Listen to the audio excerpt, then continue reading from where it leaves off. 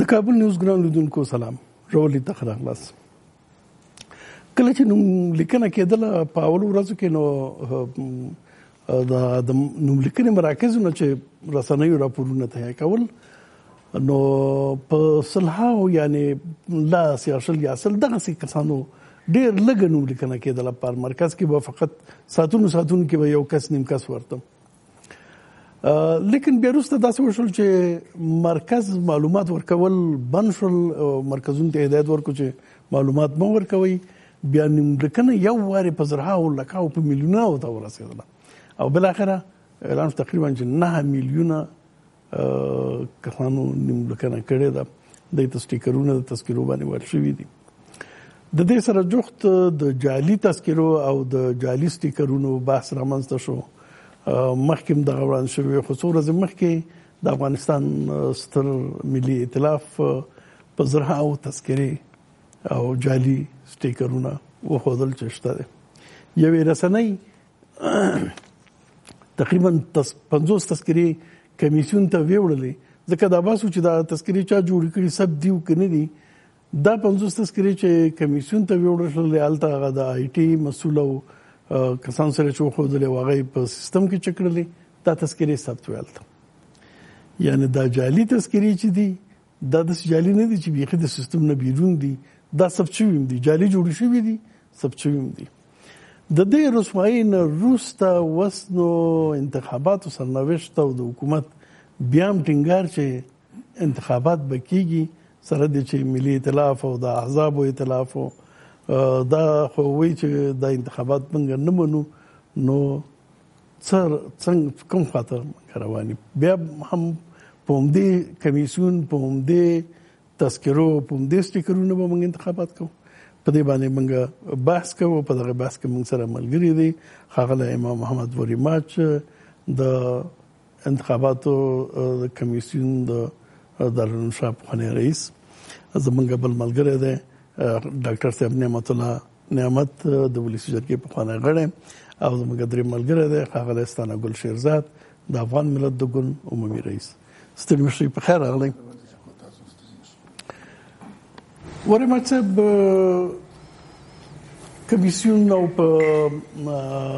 هغه انتقادونه چې کمیسیون دي کمیسیون کې چې اختلافات او خبرې او قصې دي په هغه ورسره کو فرصت پات شو بحث به وکم خو د میلیونهاو تذکرو او سټیکرونو چې په هغه کې ډیر شمیر ویل کیږي چې جعلي دي او اوس بيخي رسوا شول ائتلاف سره رقم دا تذکرې وښودل چې د دې لاسته ولګېدلې دي دین وروسته په دې سیستم په دې تذکرو په دې کمیسیون انتخابات کول څنګه ارزوي تاسو بسم الله الرحمن الرحیم سلام تاسو درنو ملمنو ته او ټولو لیدونکو ته دې کې شک نشته چې ټاکنې په افغانستان کې د تخنیکی له پلوه هم ستونزې درلودلې او ډېری سیاسي موضوعات هم پکې وو نو کله چې مونږ هلته وو د مونږ د هڅه او دا ټول تلاش مو دا و چې مونږ دا پروسه یو قسم تر یو حد پورې ټکنالوژي ته واړو ترڅو د دغه سي حالاتو او ناندرونه د ملت خلاص شي ولا بده مرغه د مونږ وسپیونه رسیده نو دا دا خبره مهمه ده د ستاسو وسه چونه رسیدله ممکنه نه و ټکنالوژي دلته راوړل مثلا بودیجه مسله یا بل څه او که سیاسي اراده نه و چې مخه نیوله ولې مو څه ونه رسېدله چې تکنالوژي راوړئ؟ دا ټول کارونه یې خلاص وو، د تدارکاتو تقریبا دا تقریبا بودجه هم آماده وو، داسې نور موضوعات هم پکې وي، خو دا د تدارکاتو موضوع کې یو وړه یو چا خبره پیدا کړ او مونږ هم نه پوهېدو، په دغه رسنیو کې دونه دغه تقریبا منفي تبلیغات وشو چې هغه کې تقریبا کمیسیون هېڅ هغه هم نه درلود، خو له بده مرغه داسې یو کوم لوبه غوندې یو شی وشو، بس دا موضوع تقریبا ناکام شو. نو خبره کله چې د کاغذي تذکرو ته ورسید او مونږ هغه وخت کې مشوره دا و چې دا د مونږ د ثبت احوال او نفوس ادارې ته چې ملګرو د ټاکنو په پروسه کې دغه جنجالونه شته دي او تاسو هم تجربه نه لرئ نو مقصد خیال وساتئ حتی مونږ دې ته آماده و چې دا نوې کارټونه به توضیح شي دی هغه نه چې نه کېږي بهتره بداو چې دا نوې کارټونه باید توضیح شي وي دا تذکیرونه تاسو یو پاکه اداره هسته او خلک تاسو باندې ډیر حساب کوي اسی نه چې ټاکنو په بهیر کې تاسو هم شامل شئ او نن چې بیا جعلي تذکرې به وځي یا داسې نور خبرې به وځي یا بل سبا د پر تاسو د بایومټریک تقریبا د الکترونیکی تذکره توزیع کوي نو دوی هم نه پیغام چې څنګه دغه موضوع ته دوی لیوالتیا وکړو چې هم دا کار ته ادامه ورکړي نو اوس خبره د دې جعلي تذکرو یا د جعلي ستیکرونو خبره ده نو کمیسون مکلف ده چې یو ځانګړی تخنیکی ټیم چې هغه کې هم کمیسون وي هم حکومت وي هم سیاسي ګوندونه وي او هم ځینې عدلي او قضایي ارګانونه اشخاص او افراد پکې باید دا ټول د ایتلاف چې کوم شاوخوا زر تقریبا سل زره کوم اسنادونه چې دوی راټول کړي او د تپوس وړاندې کړي دي دوی باندې دوی باید کینی او یو حل لار ورته پیدا وکړي کوم جعلي تذکرې چې هغه سیستم د مرسیدلې بیرته بیرته راو باسي کوم چرته چرته چې نور ځایونو کې پروت دي هغه نم باید د سیستم نه وباسي او داس یو میکانیزم داس یو کمیټه برابر کې چې هغه کې هم کمیسون بابرو با عزت خپل کار سره تورسي هم هغه کې د سیاسي ګوندونو ملاتړ ولري د انتخاباتو ده په دې کې دا شی نه کېدی شي دا چې تاسو وایي نو کچېری هوټ وی او یو بل سره تقریبا همکاري وی مرسته وی دوی کولای شي کچېری لرشتیا نه دلته څوک وغواړي ملي ائتلاف ائتلاف او څنګه سیاسي ګوندونه حکومت او کمیسون د یو تخنیکی ټیم باید جوړ کی او دا ټول موضوعات وسپړي اساسي خبره هم دا د هوټ خبره د روسته په دی باندې خبره کو چې هوټ انتخاباتو د کولو د کړ انتخاباتو د ورانولو د ټکنالوژي د رسولو تاسو ویل چې مخاني ولکیږي کمیسیون کې څه رقم خرابې راوستل شو رئیس لري کیږي د دارالشا رئیس لري کیږي بیا په جنجالونو باندې نوې رئیس راوستل کیږي او نوې دارالشا رئیس هغه د ابل ورځ راغله ده د ټول قصې چې کیږي دا ټول سهوی دي غلطۍ دي دسه مسلسل دسه په تکرار سره او کنا اراده دغه څه ده که اراده د سي نو به څنګه خبره ده په دې بیا روسته خبره کوم چې اراده ده او که سهوی دي که غلطۍ دي دا د چروان دي دا سره روان دي خو ډاکټر صاحب تاسو د څه وکس په توګه چې کاندید هم د ولسی جرګې کتوم درلود په ایندې کمیسیون او په ایندغه میلیونونو جعلي تذکرو او سټیکرونو احیانا کې انتخابات وشي د دې نتایج به څنګه دا به خلک قبول کړي دا به موږ سبات خو ته ویسي ک انتخابات خو دې لپاره دي چې یو مشروع ادارې جوړ شي دا څه رقم وضعیت وي مننه وریماش صاحب شیرزاد صاحب تاسو تخنیکی همکارانو درنو لیدونکو ته سلامونه که افغانستان له ډیرو بدبختیو سره مخامخ دی زه فکر کوم په دغه حالاتو کې اوس چورته ګورو دغه زه د خلکو आवाज پورته کول د افغانستان د مطبوعاتو په همکارۍ سره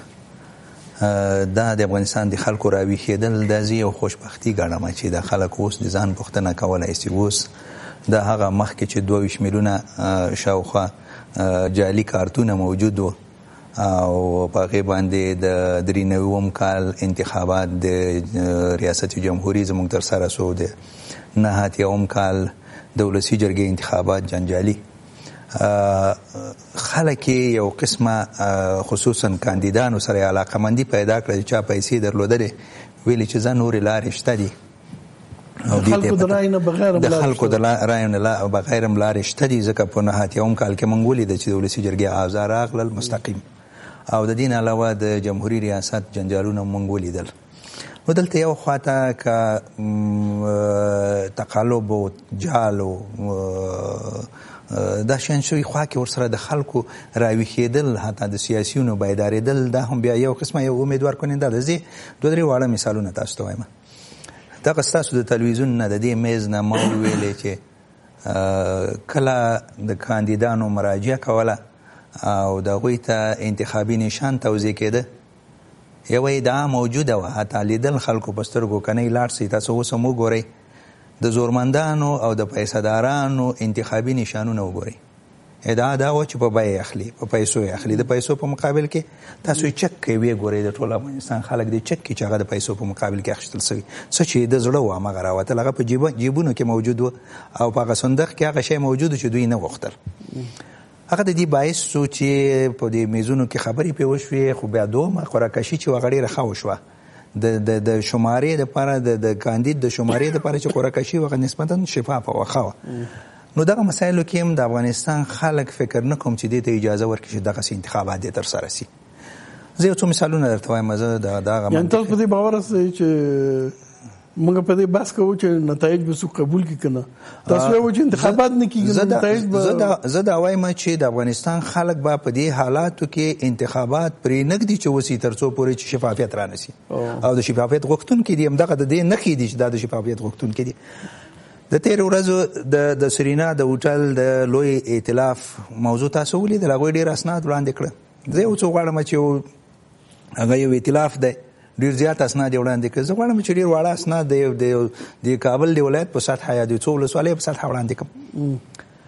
په ځینو حالاتو کې د انتخاباتو کمیسون ځان ته برات ورکړي تاسو د تیر ورځې د دوی پریس کانفرنس ولید چې هلته یو خو په تقابل کې غوښتل چې ځان واقع کې د لوی ائتلاف سره اوس له غلطۍ چې در سره دی هغه ومنه د هغو د اصلاح وعده وکړئ دې په ځای باندې چې ته تقابل کې واقع کېږي او دوی ته وایي چې تاسو یې سابوتاژ کوئ ته اصلاح سه هغوی ته سابوتاژ موقع مه ورکوه زما غلطي مه یادوه چې چې بیا دغه یاده دې کړه ته سابوتاژ کوې زه راځم څو واړه مثالونه درته وایم کله چې د د ثبت احوال نفوس ادارې جدولونه په خپل سایت کې نشر کړ رسماً یې د انتخاباتو کمېسیون ته ولېږل چې د افغانستان د څلور سوه او څو شپېته ولسوالیو په هره ولسوالۍ کې دومره نفوس موجود ده او دا هم د شپږ نوي اووم کال تازه احصایه ده یا ارقام دي چې هغه دوی کوم فرمول لري د همغې له مخې نه د کابل ولایت ته راځو د کابل ولایت د خاکي جبار د سروبي د موسعي د قرهباغ د پغمان د نورو ولسوالیو د ټولو ارقام یې ورولېږل چې دلته نفوس دومره دی زه د سروبي ولسوالۍ اوسېدونکی یم د سروبي د ولسوالۍ نفوس په هغه جدول کې 550500 دی اته 50500 1500 د کې ماشوم او د کې سپینګری او په دې کې زنانه او د کې ټول شامل دي په دې کې د اتلس کلن نه کته ټول شامل دي د یو یو فارمول لمخنه په افغانستان کې د 15 کلن نه کته ماشومان چې د دوی تعداد د نفوس څلورمه حصہ څلورمه حصه د نفوس چې دا هغه د د شپږ کلنۍ نه تر ولس کلنۍ پورې ده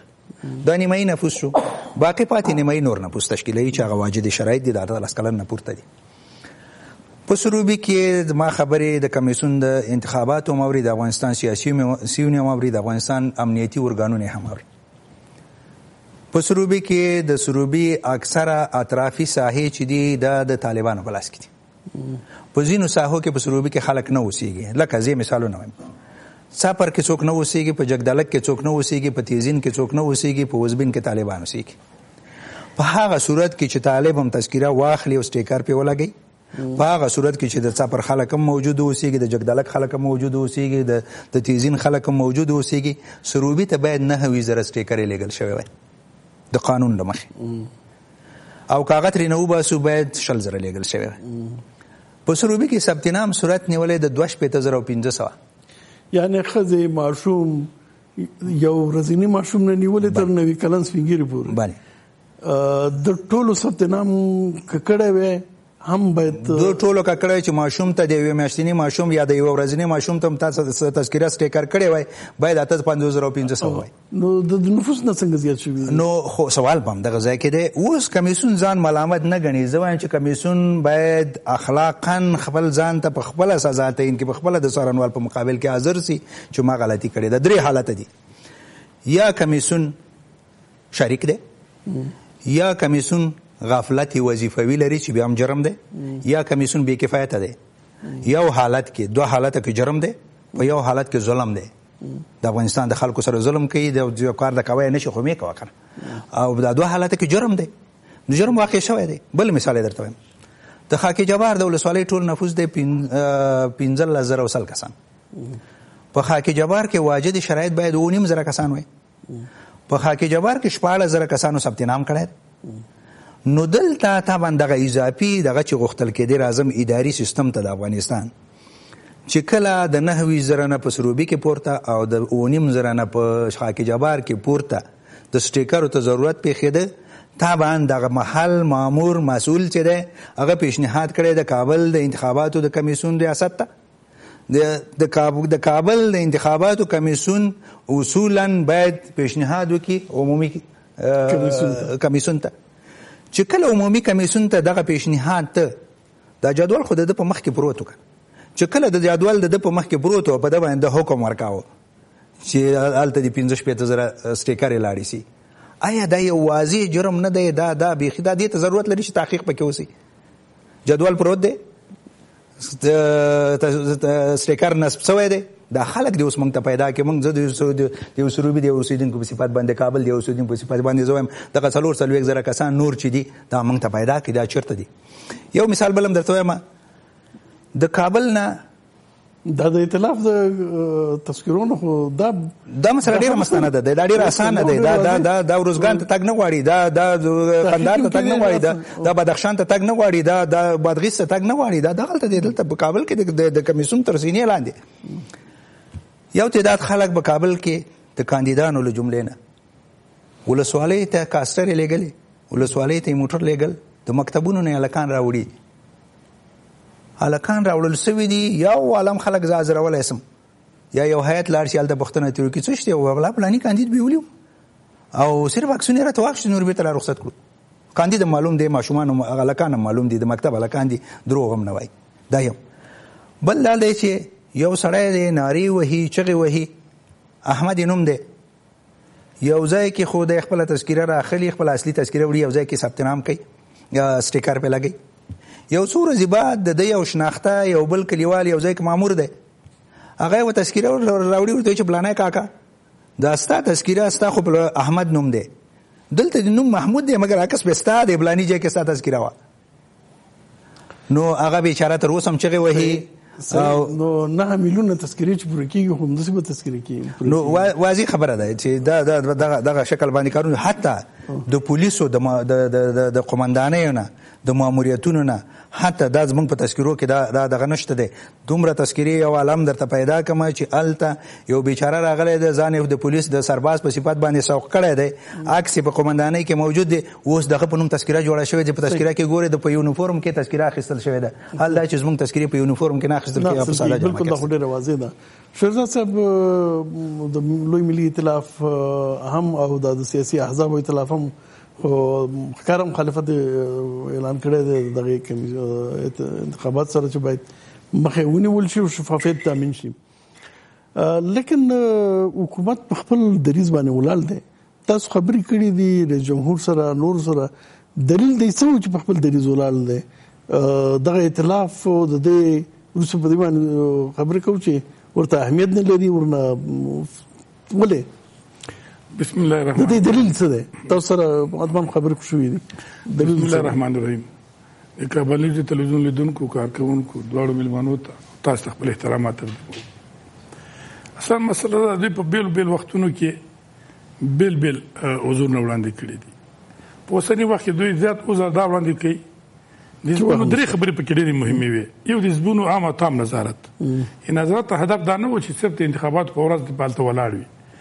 د زبونو مت هدف دا و چې د اولې ورځې نه ته اسناد چیرته چاپې په چا چاپې به څنګه توزیع کې په دې باندې پوي وي دا نفر چې مقرره یو کډو په دې ولایتو کې دا په کومه میتود مقرره څوک مقرره کی او دا مورد اعتماد خلک به کبانه همداسې د انتخاباتو پر ځم به نظارت وشي د انتخاباتو په ورځ دوی مونږ ته ویل چې مونږ په هغه ورځ باندې ټول د مکتبونو استادان هغه پرانه شي د پانتون استادان او پرزن دا دواړه پرانه شي بیا د خصوصي پانتون استادان مونږ دا خبر وسره مونږ د لزکه چې استادان یو ډلې خلک نه دي کنه د هر ډلې وی مونږ چې ګډ وډ وی سره دا سیده خو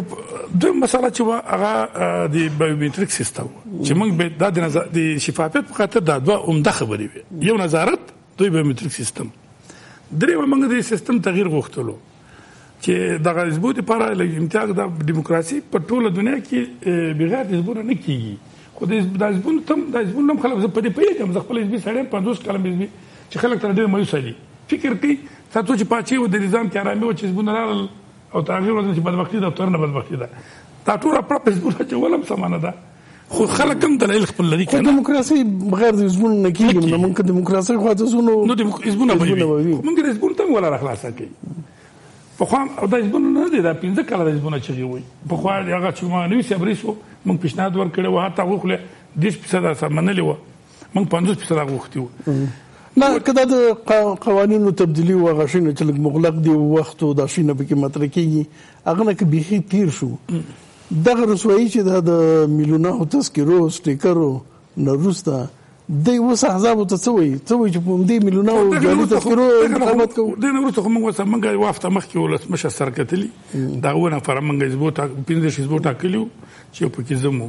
حکمتیار صاحب هلته ځان سره ځین اسناد راوړي وو چې هغه کې جعلي تذکره خو هغه محدود ممکن شل دي یا 50 سندونه وو خو موږ هلته تعجب وکړو چې هو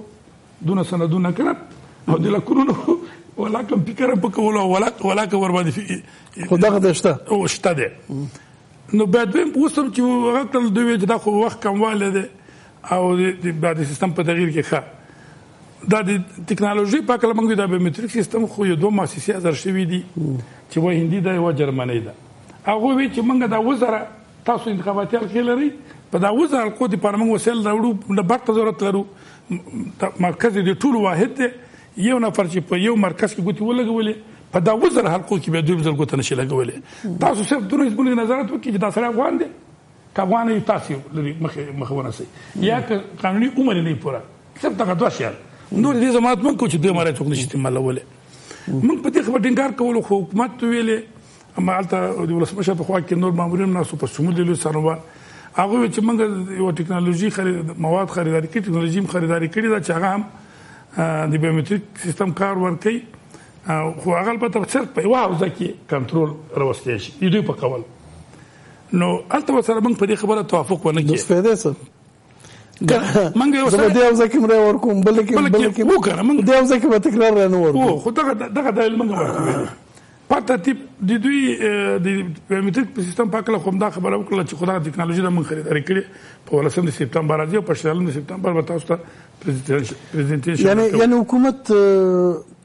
او کمیسیون کلک وسم په دې ولال دی